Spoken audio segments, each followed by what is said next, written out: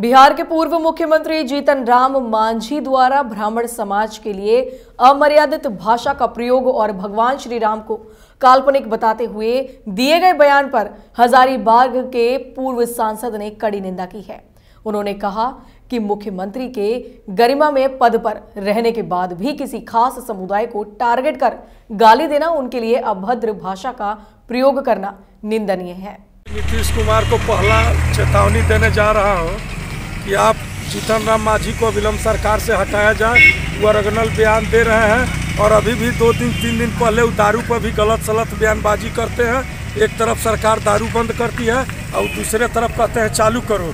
और इसके बाद एक मांग और रखना चाहता हूँ, पप्पू देव की जो हत्या हुई है, इसमें सीबीआई जाँच का मैं मांग करता हूँ, नीतीश सरकार से।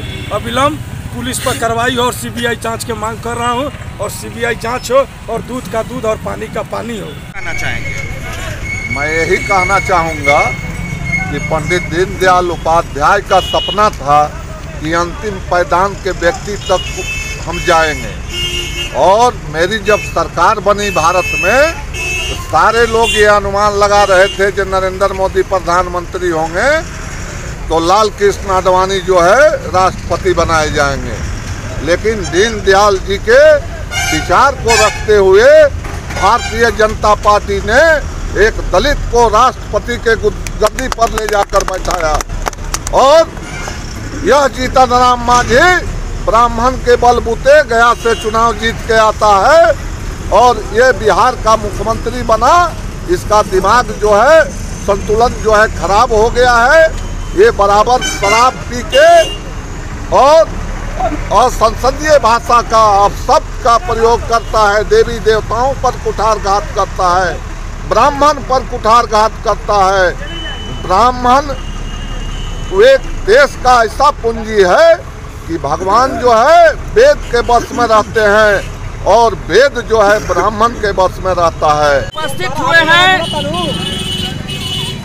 इस कार्यक्रम के अग्रगण्य हमारे बड़े भाई श्री सत्यनारायण ओझा जी के नेतृत्व में, जो कि पूर्व मुख्यमंत्री जीतराम मांझी ने भरी सभा में ब्राह्मणों के ऊपर जातिवाचक शब्द का उपयोग किया, जो कि इनसे हम लोगों की आशा नहीं थी।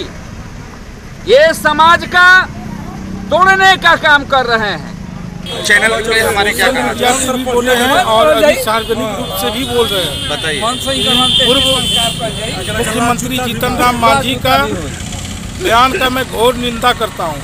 ब्राह्मणों के साथ साथ जो हिंदू धर्म के खिलाफ जो बयान दिए हैं इसका मैं कड़ी निंदा करता हूँ।